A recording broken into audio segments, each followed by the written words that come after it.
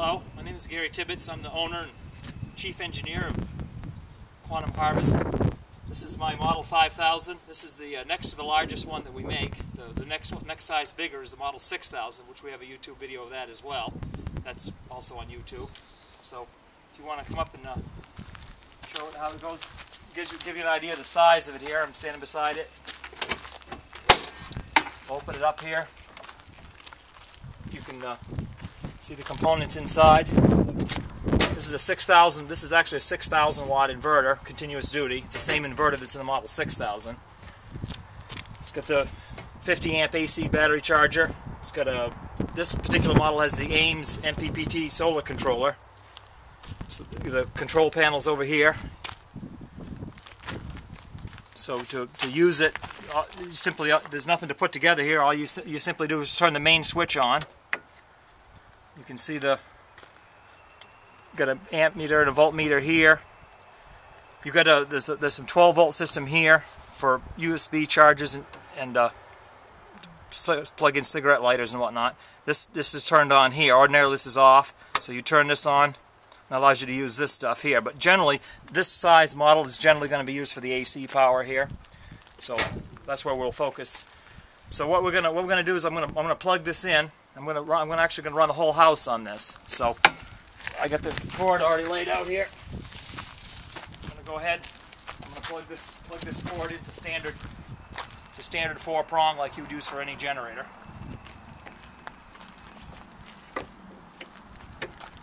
Get it in here right. And that just plugs in like that. Now we're gonna go ahead and we're gonna turn the inverter on. It's hard it's hard to tell in this bright sunlight, but the LEDs will come on and when it, when it's when it's running can't really see it here, but there's a LED that shows that it's on. It's pretty much silent. Mm -hmm. You can feel it. So then we're going to go ahead and turn the uh, turn the main breaker on here. Actually, we're not going to do that yet. I'm going to shut the power off the house.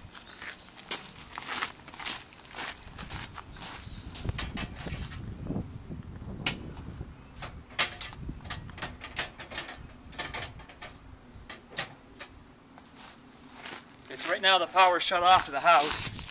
This is plugged into a, there's an automatic transfer switch in the garage. When I turn this on, you'll see the light, house lights come back Let on. me focus on the, the lights. Okay. okay, I'm going to turn it on now. Yeah. Now you can, if you, you can hear the inverter fan kicked on. So now we're, we're running, in the, inside this house is a, obviously a full-size refrigerator. We have two freezers. There's a one horsepower water pump and a number of ceiling fans and whatnot. As you can see, it's not a small house. And she's running everything in the house right now with no problem.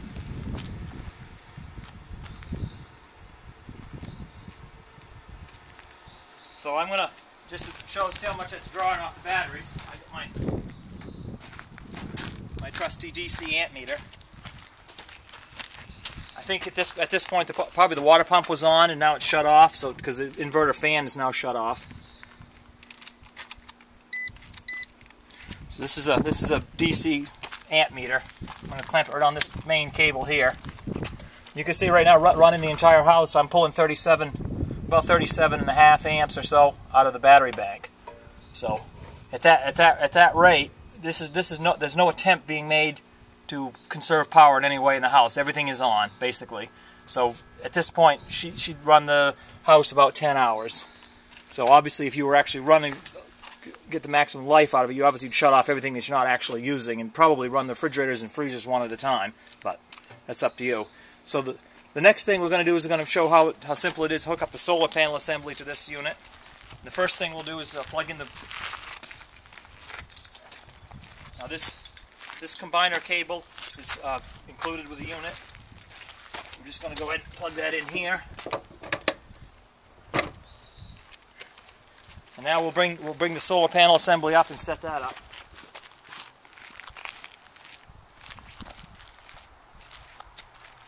So these uh, this is our 300 watt solar panel assembly. It's portable. They're pretty easy to move around.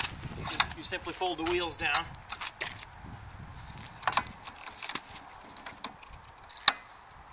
Turn around, just wheel it wherever you want it. This assembly weighs it's about 60 pounds, so it's not a, it's not a huge amount of weight.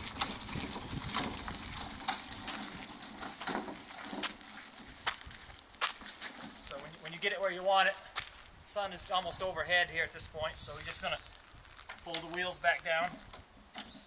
And we're gonna unlatch it here and fold it out. This three this three panel has a top gusset strap that goes over the top of it. Just fits right over these pins, just lays over here. That, that gives it rigidity so the wind's not going to blow it around. And then there's two struts on the back lean it back. So that's a that's a pretty good angle right there. I want to be a little bit flatter here. And that's it. Take our cord here. And we're gonna go around and plug that cord in.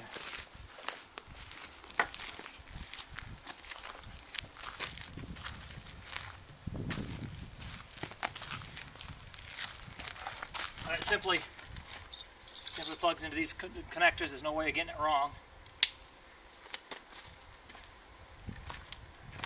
Now this particular model here, bring the camera up here.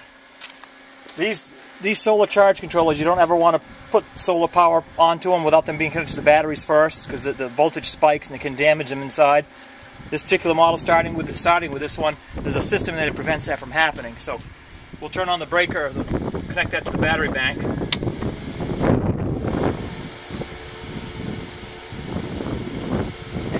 You if you probably can't hear it because the wind's blowing, but there's a relay. That, uh, after about 30 seconds, there's a relay that clicks.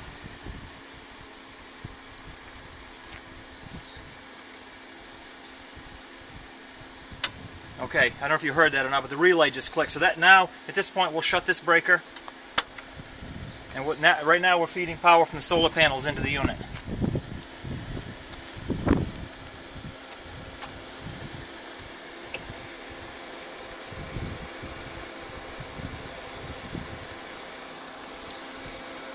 Numbers are blinking on the camera. Yeah. Although on the actual screen it shows 24.9, That's the voltage. The, the blue, the blue is the amperage. Right now, the, the 7.6. Now this this uh, solar panel set up for 36 volts. This is a 24 volt system, so it's putting seven and seven and a half amps at 24 volts.